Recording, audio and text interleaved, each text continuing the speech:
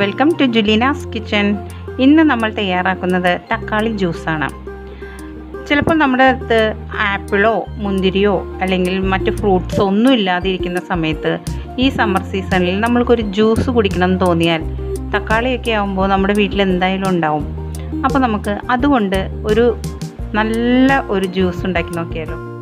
അതിനായി ഞാനിവിടെ എടുത്തിരിക്കുന്ന ഇൻഗ്രീഡിയൻസ്. നല്ല പഴുത്ത തക്കാളി ആറെണ്ണം. അരമുറി നാരങ്ങ പിഴിഞ്ഞെടുത്തത്. ഒരു നുള്ളുപ്പ് ഒരു ചെറിയ കഷ്ണം ഇഞ്ചി. ഞാനിവിടെ അരക്കപ്പ് പഞ്ചസാര എടുത്തു വെച്ചിട്ടുണ്ട്. അത് അത്രയും വേണ്ട. ഓരോരുത്തരുടെയും ആവശ്യത്തിനനുസരിച്ച് അതായത് കൂടുതൽ മധുരം വേണ്ടവർക്ക് അങ്ങനെ ഇടാം.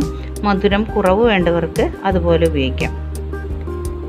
കുറച്ച് ഐസ് ക്യൂബ്സ് വെള്ളം ആവശ്യത്തിന്. ആദ്യം നമുക്ക് ഈ തക്കാളി അരിഞ്ഞെടുക്കാം. അതിനായി ആദ്യം ഇതിന്റെ ഈ കറുത്ത ഭാഗം ഉണ്ടല്ലോ അത് നമുക്ക് ആദ്യം കട്ട് ചെയ്ത് മാറ്റാം. അതിനുശേഷം നമുക്കിത് ചെറുതായി അരിഞ്ഞെടുക്കാം.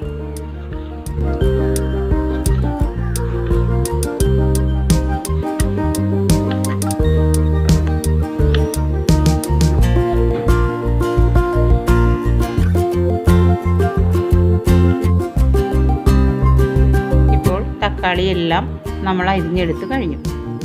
ആദ്യം നമുക്ക് മിക്സിയുടെ ജാറിലേക്ക് അരിഞ്ഞു വെച്ചിരിക്കുന്ന ടൊമാറ്റോ ഇട്ട് കൊടുക്കാം.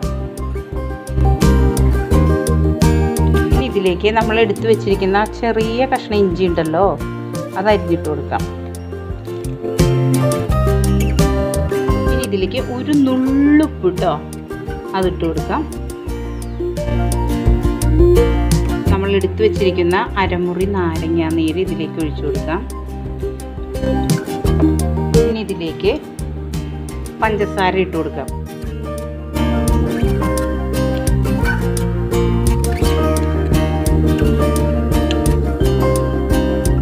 ഇതിലേക്ക് നാല് ടേബിൾ സ്പൂൺ പഞ്ചസാര ഇട്ടിട്ടുണ്ട്. അതിനുശേഷം നമുക്ക് അടിച്ചതിന് ശേഷം വേണമെങ്കിൽ ആഡ് ചെയ്യാം.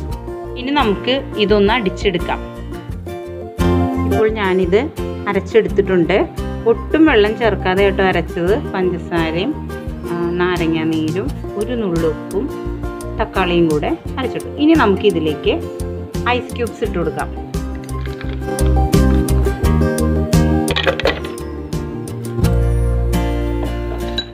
ഇനി നമുക്ക് ഇതിലേക്ക് അല്പം വെള്ളവും കൂടി ചേർത്ത് ഒന്നുകൂടെ ഒന്ന് അരച്ചെടുക്കാം.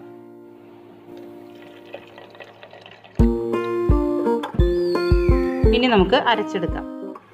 ഇനി നമുക്കിത് അരിച്ചെടുക്കാം.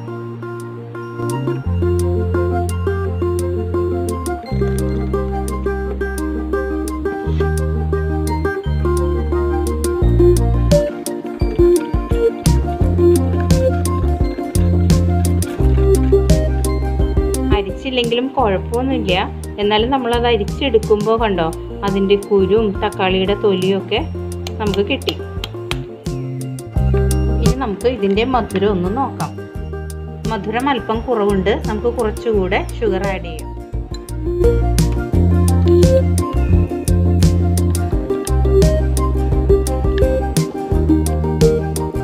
ഇനി നമുക്ക് ഒരു സെർവിങ് ഗ്ലാസ്സിലേക്ക്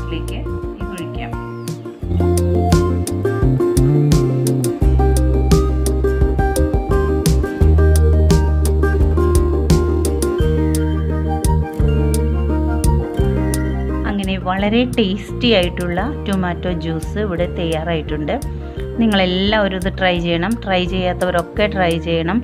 നിങ്ങളുടെ ഫീഡ്ബാക്ക് എന്നെ അറിയിക്കണം. അപ്പോൾ നമുക്ക് മറ്റൊരു റെസിപ്പിയുമായി വീണ്ടും കാണാം. Thanks for watching